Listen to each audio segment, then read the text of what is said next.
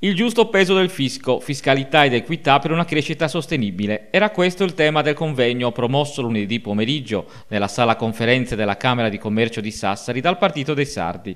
La Sardegna è la regione italiana con più cartelle esatoriali insolute. Un dramma che investe situazioni differenti, non solo commercianti, artigiani e piccole e medie imprese, ma anche singoli e famiglie.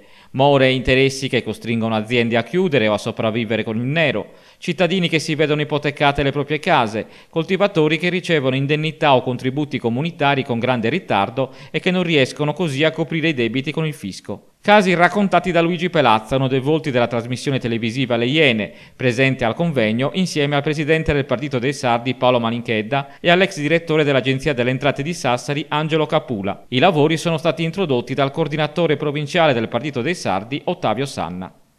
Equitalia oggi non esiste più, assorbita dall'Agenzia delle Entrate, ma sono tuttora parecchie le situazioni dei cittadini indebitati con il fisco, come sono tante le possibilità di ricorsi e contestazioni nel caso di errori nei conteggi delle cartelle, vizi di notifica, applicazioni indebite di interessi e così via. Occorre però conoscere questi strumenti, spesso ignorati dal cittadino. Ecco perché Pelazza ha fondato un'associazione, Diritti al Diritto, da cui è preso vita il braccio operativo la SARC, società costituita da professionisti della gestione di debiti con le amministrazioni pubbliche e bancarie. Ci sono poi tutti i limiti della realtà sarda. Sassari risulta la città con il maggiore carico fiscale, il 66%, 6 punti in più rispetto a Cagliari, 10 su Iglesias.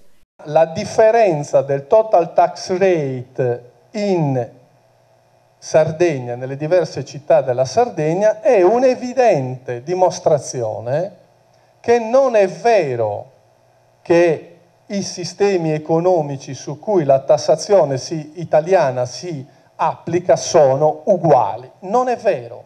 Il convegno è stato registrato dalle telecamere di Canale 12 e a breve sarà inserito nel palinsesto della nostra emittente.